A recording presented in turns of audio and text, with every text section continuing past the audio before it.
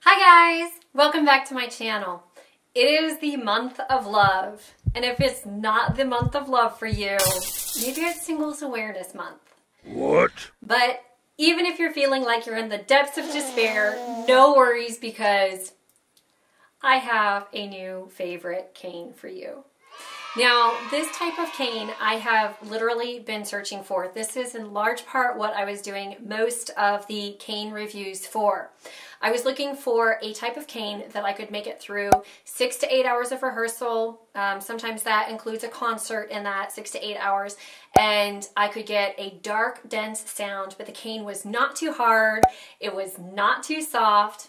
It offered a density of colors from the very get-go, and it has key elements that tell you when to scrape the reed.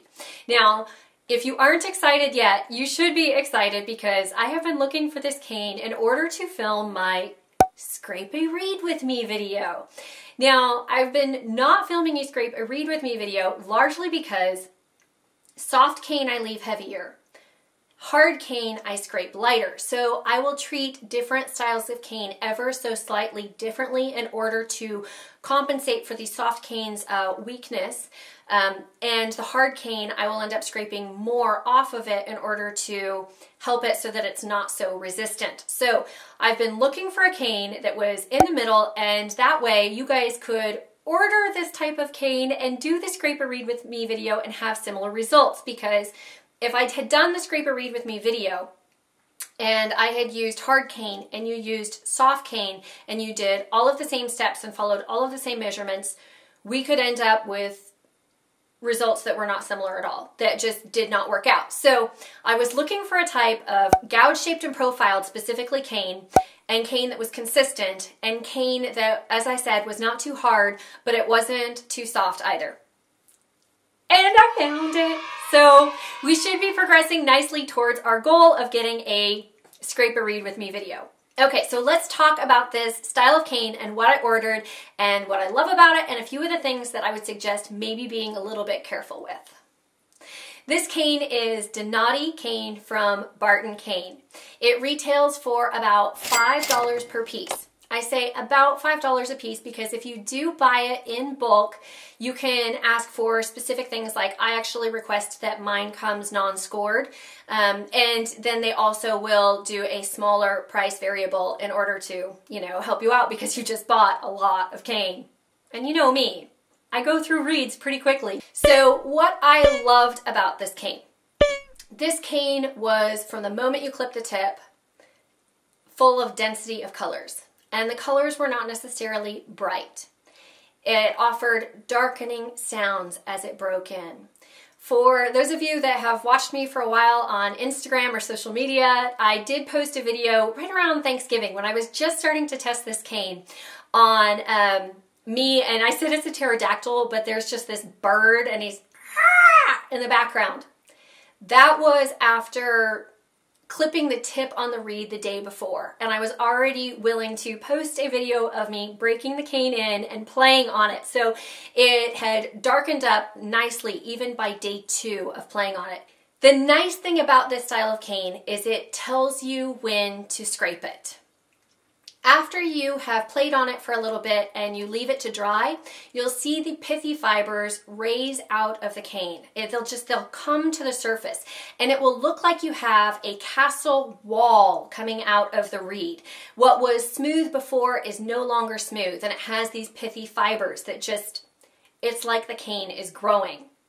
It's easily identifiable and visual to the eye and can be quickly removed with something as simple as sandpaper, which is fantastic.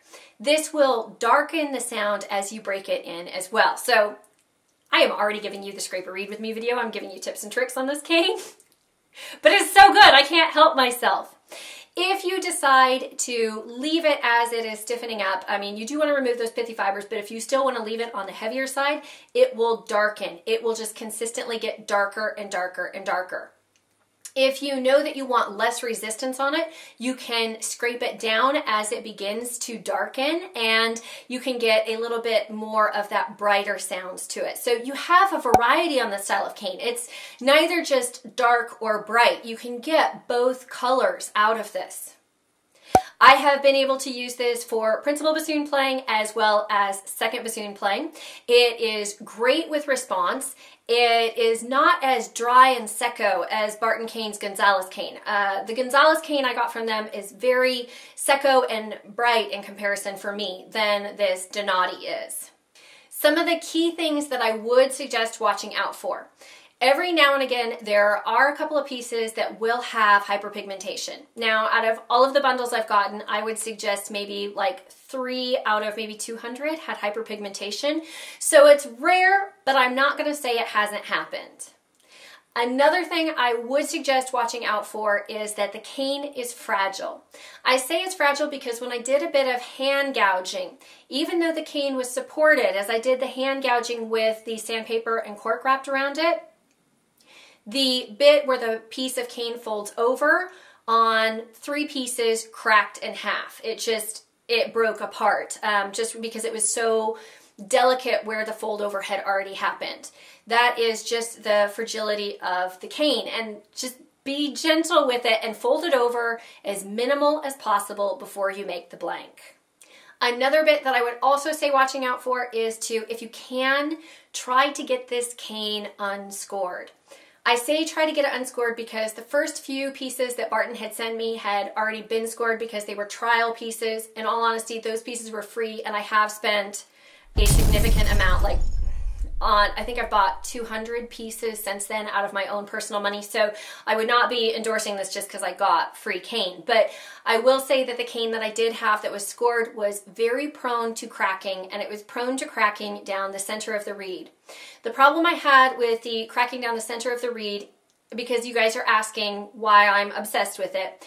This cane was so fragile that many of those that cracked down the center, I had issue with those reeds leaking. When I say they were leaking, I did not get an air seal. So you're trying to put all of the air through the reed to go directly into the bassoon, and the reed on the bocal is giving a slight hissing sound, like a, a tire that's leaking this tire that's leaking means you're not getting all of the sound for your air, but it also is, for me, slightly distracting while playing. So watch out for the fragile of the cane and be careful to maybe add in the crosshatch scoring so that there's less possibility of the cane actually cracking into the blade and doing any leaking. You might also consider doing a little bit of sanding at the base of the tube to make sure you get a really good seal. I do this before I ever do the wrapping of the reed so that I make sure that I get good dimensions that are consistent each time. Okay guys, I hope you enjoyed this special love video for the holiday season and maybe it has made you a little bit happier about the cold months of February as we are all hoping to get into spring if you're at all like me. I just, I want the daffodils to bloom tomorrow. If you enjoyed this, be sure to give it a thumbs up. If you have any experiences working with Donati Cane, I would love to hear from you. Please leave me a comment about your experiences. It's just a wealth of knowledge and my reviews are made even better by your reviews. I love to hear what you guys have to say. And if you want to keep up on all of my adventures, the things that I'm trying, what's happening in my life, the gigs that I'm playing, you can follow me on Instagram and Twitter. And I will see you guys next time. Bye!